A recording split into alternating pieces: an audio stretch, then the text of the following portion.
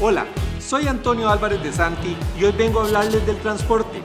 Un país con un sistema malo de transporte es un país entrabado. Por eso debemos de tener un sistema de transporte colectivo que sea eficiente y lleve a trabajadores y estudiantes de manera rápida y ágil a los centros educativos y a los centros de trabajo. Por otra parte, el transporte es el mayor generador de consumo de energía derivada del petróleo y eso nos hace pagar una factura muy cara que además contamina. Por eso hay que irse a las energías limpias, amigables y verdes, como el tranvía o el tren, entre otros.